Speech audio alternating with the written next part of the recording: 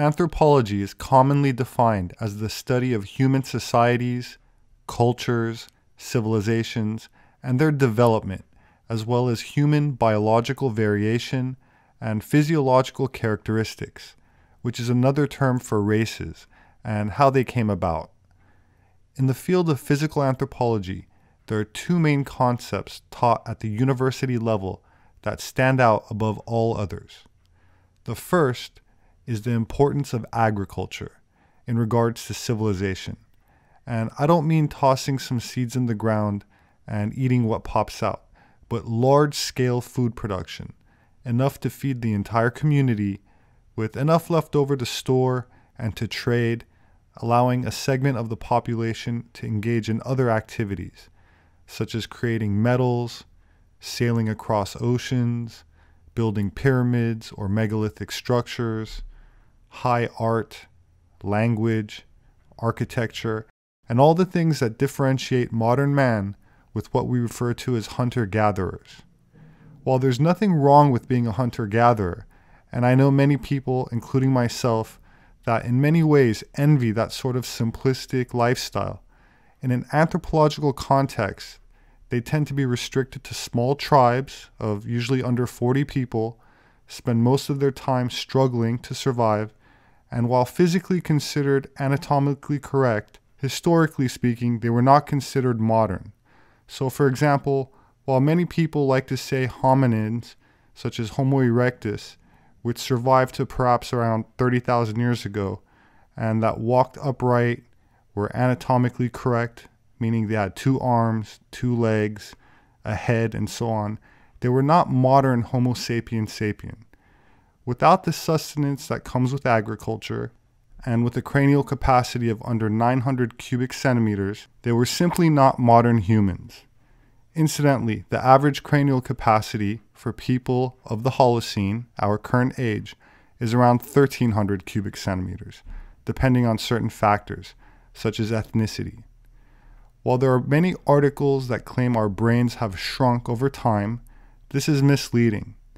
The reduction in brain size is due to the hybridization of our species, as the first fully modern human was Cro Magnon, with some specimens having a cranial capacity of over 1700 cubic centimeters, who then mated with other hominin species, such as Denisovans, and some other species in Africa that have yet to be identified in the fossil record, only seen in comparing sequenced genomic data and labeled as a ghost species, which I suspect is Homo erectus or another archaic hominid.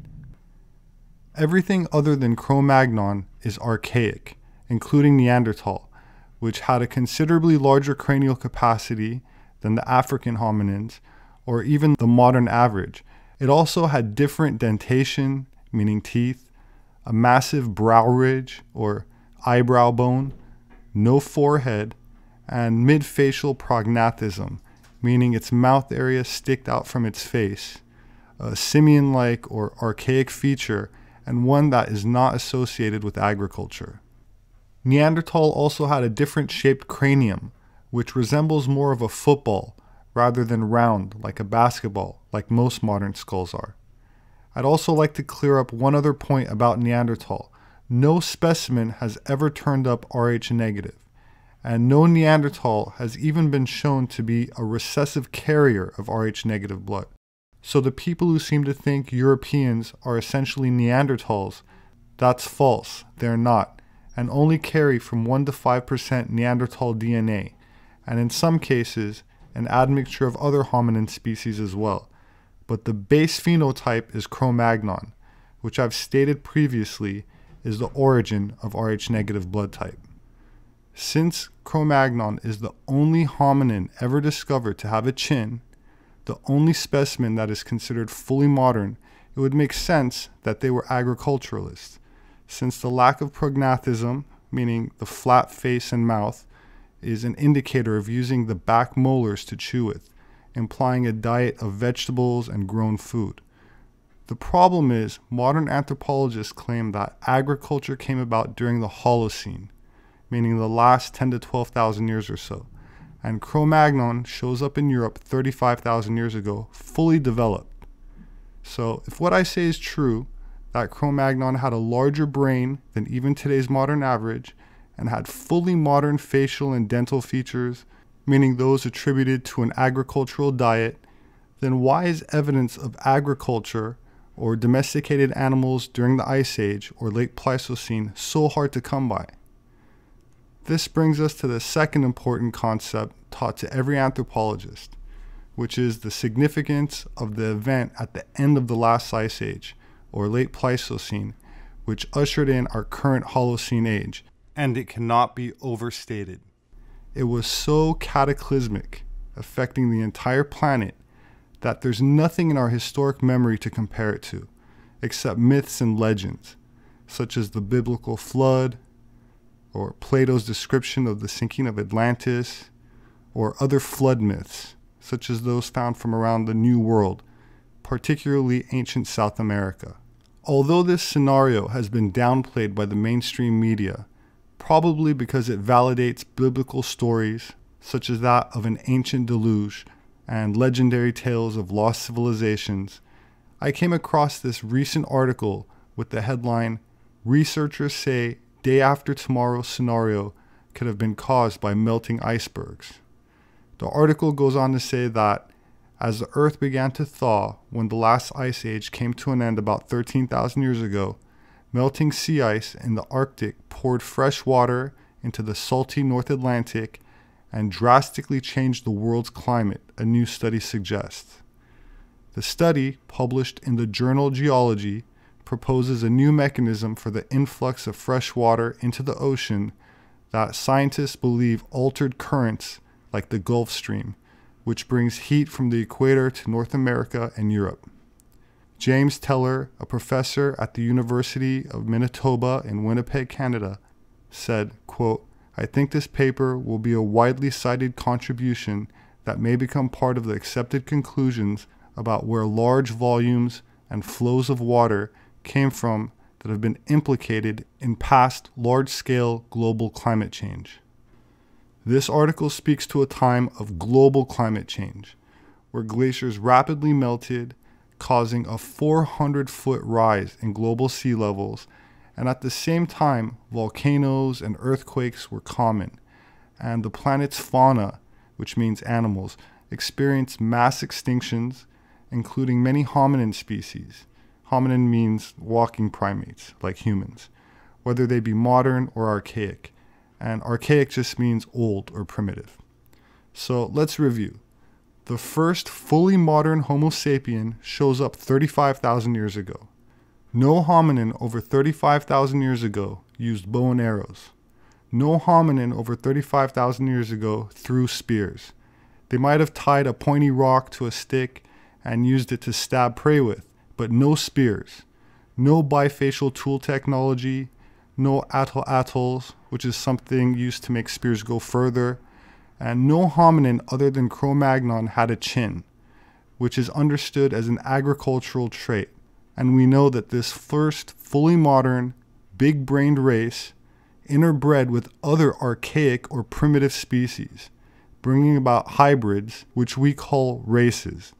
I understand this concept is controversial, but it's taught in every university for over a decade now so you should probably get used to it. This article says evidence mounts for interbreeding bonanza in ancient human species, quote, adding to the growing sense that sexual encounters among different ancient human species were commonplace throughout their history. This headline reads Ancient humans rampantly interbred with Neanderthals and a mystery species in Lord of the Rings style world of different creatures. So the point I'm trying to make is the only group that can be scientifically called modern, which DNA testing shows to be identical to certain European populations, interbred with other species which are separate species. Neanderthal is not a modern human species. Either is Homo erectus or anything other than Cro-Magnon. They mated and we are their offspring. And that's why they're different races, not one race, that left sub Saharan Africa and adapted to different environments because of different amounts of sunshine. But hybridization of different species the way a lion and a tiger mating and producing a liger is different than saying a lion moved to a different area and evolved or mutated a different physical appearance, different behavior, different IQ, etc. This genetic admixture is expressed by Plato in his writings about the decline of Atlantean civilization in 360 BC. Quote, For many generations, as long as the divine nature lasted in them, they were obedient to the laws and well affectioned towards the God whose seed they were, for they possessed true and in every way great spirits. However, over time, the Atlanteans became corrupt. Quote, when the divine portion began to fade away and became diluted too often and too much with the mortal admixture, and the human nature got the upper hand, they then, being unable to bear their fortune, behaved unseemly, and to him who had an eye to see grew visibly debased. That said, in my book Species with Amnesia, I publish evidence of Ice Age animal domestication by Cro Magnon, including Paleolithic engravings of horses with straps and bridles which are 30,000 years old. This is important because domesticated animals are required in early agricultural civilizations, and these engravings go against the mainstream notion that the horses were hunted and not ridden. DNA evidence is also suggesting dog domestication goes back at least 30,000 years to the Cro Magnon era. The Canary Islands, incidentally, where we find the mummified remains of the Guanches, who in a recent video I identify as a direct descendant of Cro Magnon, or not named after the canary bird, but instead from the Latin word for dog, canaria, as when the Europeans first arrived, they found large domesticated dogs on the islands. And this brings us to the transitional period between the Pleistocene or Ice Age and the Holocene, our current age, when following major cataclysms, rapidly melting glaciers, rising sea levels, and global flooding, we find agriculture, domesticated animals used in agriculture, and the oldest known megalithic stone monuments, all in one place in the world, which happens to be the same place that Noah was said to have settled in Anatolia, near Mount Ararat, from where agricultural civilization diffused from, not to mention all the languages that are part of the Indo European or Aryan language family, including Sanskrit, Farsi, Latin, English, German, French, Spanish, and about 440 other languages. So, what about the languages that are not Indo European or Aryan, such as the North African Berbers or the Amazigh languages? spoken by large populations of Morocco, Algeria, Libya, and parts of Tunisia and Egypt. And let's not forget about the language of the Basque, called Euskara, which is also not an Indo European language. I'll start by saying that while not very similar linguistically, the Berbers and the Basque share genetic affinities, both having a very high percentage of Rh negative blood and both also being direct genetic descendants of Cro-Magnon. It is interesting to note that the Basque mythology states that they originated in a land called Atlantica, and the Berbers live near a mountain they call Mount Atlas. According to sequence DNA, there was a split in Cro-Magnon type ancestry into what became two haplogroups around 20 to 25,000 years ago. These two factions went to war and rather than give you a technical explanation, let us turn once again to mythology and let the ancient Egyptians tell the tale. Over 2,000 years ago, a wise priest in Egypt named Sonchis told a respected Greek statesman, Solon, a spectacular legend recorded in stone, translated to Greek from ancient Egyptian hieroglyphs, about powerful seafaring empires, massive global cataclysms, and a great war of the Titans. Many great and wonderful deeds are recorded of your state in our histories, but one of them exceeds all the rest in greatness and valor. For these histories tell of a mighty power which, unprovoked, made an expedition against the whole of Europe and Asia, and to which your city put an end. This power came forth out of the Atlantic Ocean.